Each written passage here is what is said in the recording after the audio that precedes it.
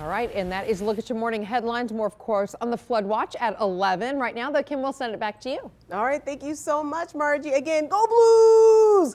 They get to take the ice again tomorrow, and again, it's not their last game. This man, he knows it. Jeff Revelle, he is a solar artist. He's ready to go ahead and burn a lot more of these at the Florissant Valley of Flowers this weekend. Okay, so we are indoors. Yeah.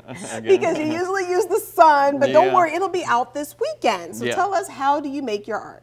Um, I use uh, the Fresnel um, to burn the background, mm -hmm. it, like uh, the lights here. This would actually, if we were outside and it was sunny, it would catch on fire. Mm -hmm and um, you'd have like a two to three inch flame on that. Okay. And then um, for detail work, I use a smaller for like the eyes and the eyebrows. Oh. And, and, and it, it, won't catch on fire with this one, but and then I use. But it still heats it up enough to kind of burn in yeah, a groove. Yeah, okay. I'll burn a layer on that, and then I use. Uh, Eye protection, Safe, safety, safety, first. Safety goggles, yeah, if, if, we're outside. But uh, safety yeah. first. You definitely uh, need those. Yeah. So you're going to be at the Valley of Flowers uh, fair this weekend. Yeah. Uh, okay, and I see these awesome pieces. You know, we have the blues here. It looks like you can make just about whatever you ask for. Yeah. Can you? are you going to be making pieces there at the event? Um, yeah, if it's sunny, um, yeah, I got some drawn out. And Glenn out. said it'll be sunny. So yeah. and, uh, yep, and um, yeah, I'll be working on there too. So yeah, and then if you go to Facebook uh, Facebook page, mm -hmm. you can see video of me working on it.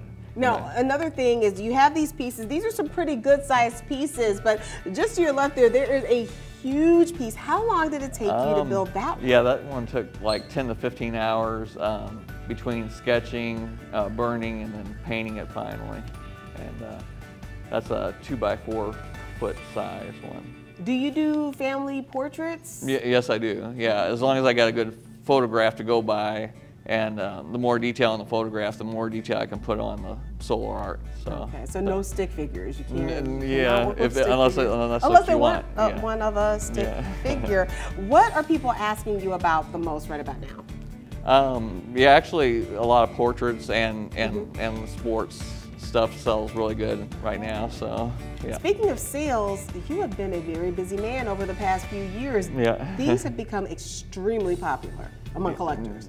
Yeah, a little bit. Yeah, um, yeah. I've um, sold them like um, on Facebook, like to people in Michigan and um, all, all around the country, Florida, um, Oregon, different places. Yeah, in the United States. Not not to other countries yet, but at least in the United States. Emphasis on the word yet, because that's coming. Everybody, if you want a piece of Jeff Revelle solar art, just head to the Florissant Valley of Flowers at the James J. Eagan Center. He will be there May 5th through the 6th.